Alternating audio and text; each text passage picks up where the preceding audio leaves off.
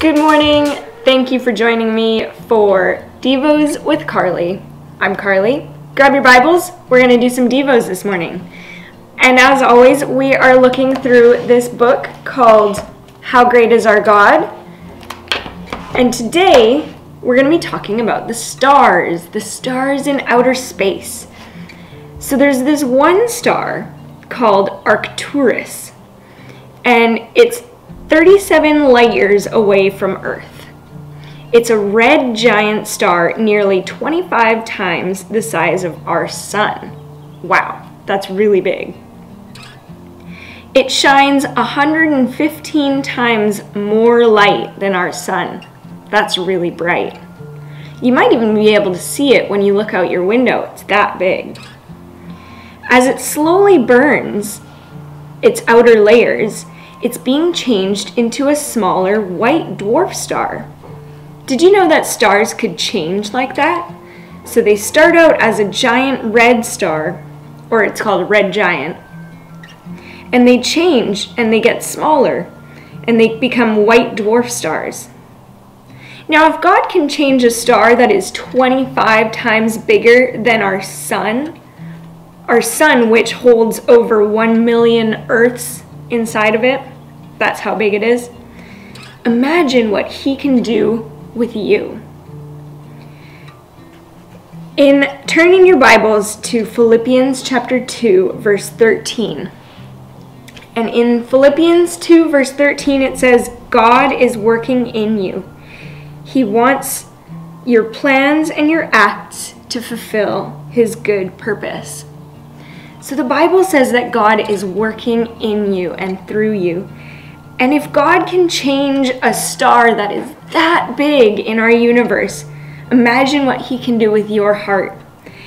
And the change that God is working inside of you is even more amazing than what He does with those stars in outer space. You see, God is like a potter, and we're kind of like His lump of clay. Every day He's shaping and changing you, and He's using things like His Word in the Bible, He's using people around you and He's using different events in your life to, to teach you how to live and how to do what pleases Him.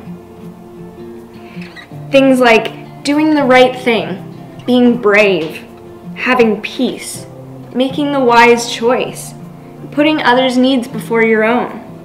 God is changing you to be like Jesus, and that's the greatest change of all. So let's read Philippians chapter 2 verse 13 once more. It says God is working in you. He wants your plans and your acts to fulfill his good purpose. Now we just talked on Sunday about how God wants us to put others first and that can be really hard. But when we read a verse like that, we can be encouraged that He's working in us and He's using everything around us to help teach us how to be more like his son Jesus. And with his help, you can do those things because God says that with him, all things are possible. So I'm going to pray for you right now. We're going to pray that God would work in us and through us and help us to do what's right and to make the wise choice and to put others first. Let's pray. Dear Lord, change isn't always easy or fun, but we trust you to change us and make us more like your Son Jesus. Help us to notice when you're teaching and shaping us, and help us to make the wise choice. In Jesus' name, amen. Now we're going to put up the 30 second timer, and I want you to spend some time talking to God and I want you to just tell him what you find difficult about some of the things he asks you to do in his word. And I want you to ask him for his help in being more like Jesus and doing the right thing.